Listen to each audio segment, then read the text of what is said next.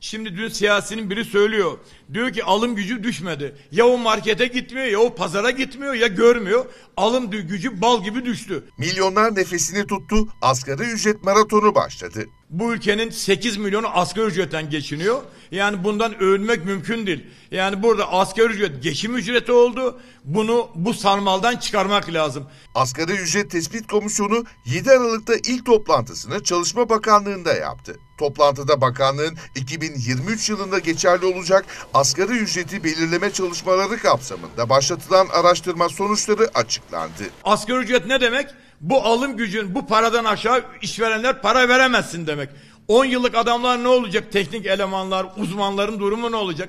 Buna göre işçi ya da işveren olmayan çeşitli mesleklerden vatandaşların oluşturduğu kamuoyunun asgari ücreti için ortak beklentisi 7845 lira oldu. İşçilerin asgari ücret beklentisi 7500 liranın üzerindeyken işverenlerin asgari ücret beklentisi 7000 lira olarak belirlendi. İşveren bir ne rakam getirecek görelim. Hükümet ne rakam getirecek görelim. Asgari ücretle çalıştığını belirten işçilerin asgari ücretten beklentisi de ortalama 7630 lira olarak hesaplandı.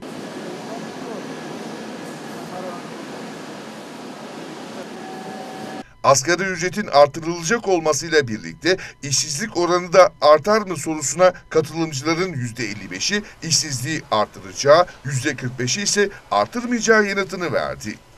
İşverenlerin de %68,8'i asgari ücretin artırılmasının işsizlik oranını da artıracağını düşünüyor.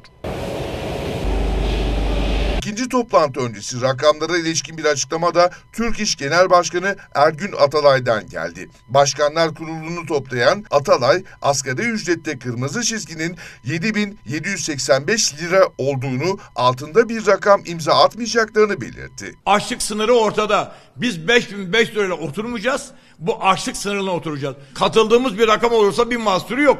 Ama katılmadığımız bir rakam olursa o masada olma- olmayız. Bunu da imzalamayız. Asgari ücrette ikinci randevu 14 Aralık'ta olacak. İşçi, işveren ve hükümet yetkilileri ikinci toplantıyı da Çalışma Bakanlığı'nda yapacak.